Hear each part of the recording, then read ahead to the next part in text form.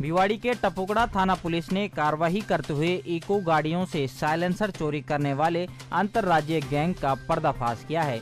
Bhiwadi police अधीक्षक राममूर्ति जोशी के निर्देशन में अतिरिक्त पुलिस अधीक्षक अरुण माचिया भिवाड़ी के नेतृत्व में टपुकड़ा थाना पुलिस ने कार्रवाई करते हुए सातिर साइलेंसर चोरों को गिरफ़्तार किया है।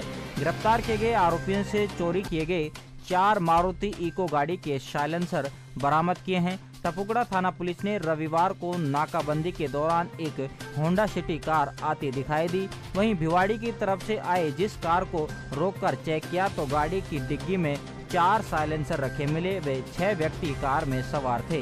इस दौरान टपुकड़ा पुलिस ने पूछताछ की तो उन्होंने चार साइलेंसर टपुकड़ा से वे दो साइलेंसर भिवाड़ी से चोरी करना बताया। चोरी किए गए साइलेंसरों की कीमत लगभग दो लाख रुपए है। वहीं गिरफ़्तार किए गए आरोपी शातिर चोर हैं जो इको गाड़ियों के साइलेंसर खोलकर कैटलिक कन्वर्टर की मिट्टी को निकालकर उसे ऊँचे दामों पर बेच देते हैं।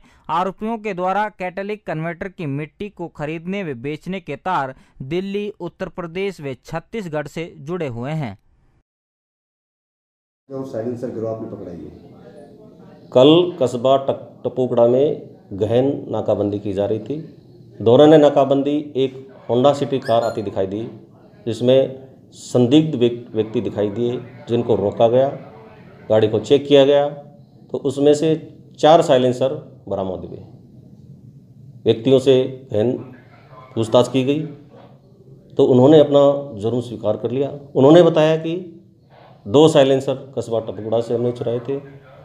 एक साइलेंसर जिसमें से जो भिवाड़ी में पत्रकार हैं उनका भी था और एक अन्य जगह से बताया है।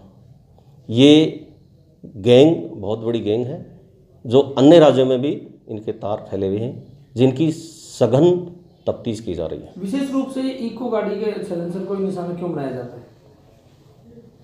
इसके साइलेंसर में जो कैटलिक कन्वर्टर होता है उसमें स्पेशल मिट्टी लगाई जाती है पाई जाती है और इस मिट्टी को चांदी साफ़ करने में या अन्य चीज़ बनाने में काम में लिया जाता है और मिट्टी बहुत कॉस्टली बिकती है।